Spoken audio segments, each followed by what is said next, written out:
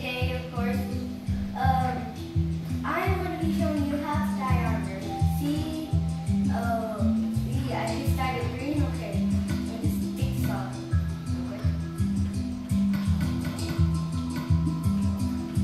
Okay.